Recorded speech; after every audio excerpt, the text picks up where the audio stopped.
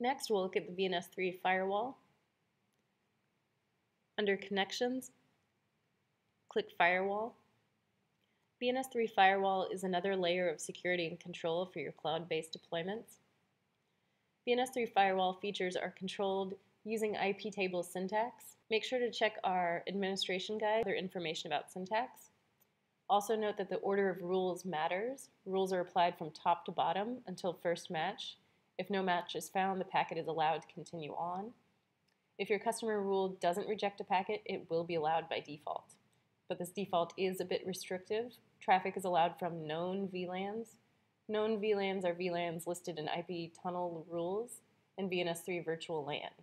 So allowing traffic from other sources requires adding firewall rules to explicitly accept that traffic.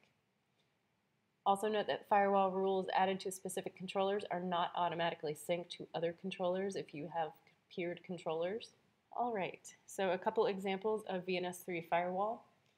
If you want to drop all packets from one IP address to another, click Save and Activate to put your firewall rules into place.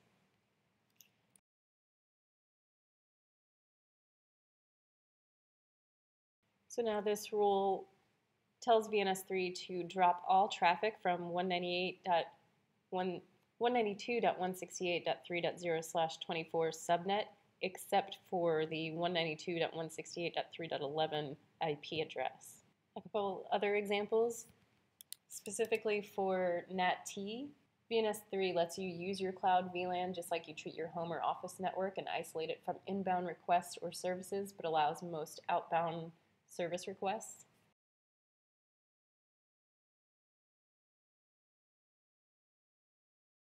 In this example, your VNS3 controller is a VLAN subnet, is in a VLAN subnet with a network from 172.31.1.0 through 255. Many clouds with VLAN capabilities map a public IP address to the private IP on ETH0 here we're telling our VNS3 controller to masquerade the traffic coming from that subnet out to the internet and then return the response packets to the requesting machine. For an example, for port forwarding, a common use case would be using Windows Remote Desktop on one of your cloud servers as a jump box, and then you want to remote all other cloud servers in your VPC. VNS3 lets you do this with your VPC just like you could from a home or office network. You can allow specific traffic from a specific source on a specific port to be forwarded to another machine.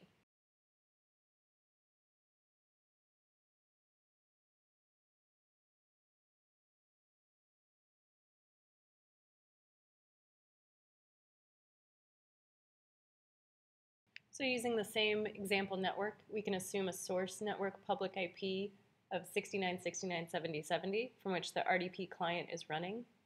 So this tells you that NAT needs to be enabled, you should specify the port to be forwarded. In this case, we said RDP 399. And specify the machine for port 3, 3389 traffic. Here it's 10.199.1.130 using the to syntax.